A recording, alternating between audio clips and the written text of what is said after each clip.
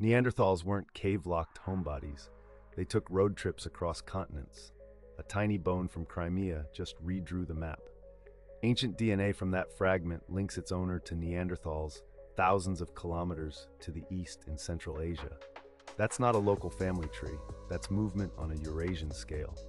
Picture the Ice Age like a set of highways, river valleys, open steppe, and seasonal game trails. Follow the herds, follow the water, and you can cross countries in a lifetime.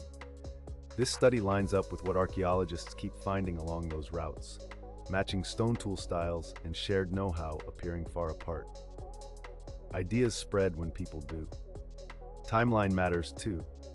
We're around 60,000 to 50,000 years ago, right before our species expands across the same corridors.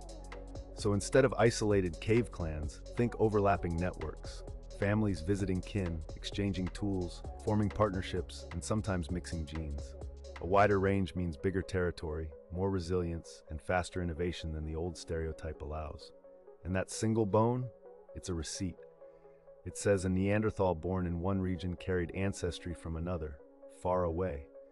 If one fragment can show that, how many stories are still buried?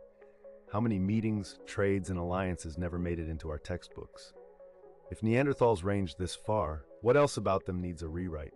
Language, art, memory. Stick around for the next ancient mystery.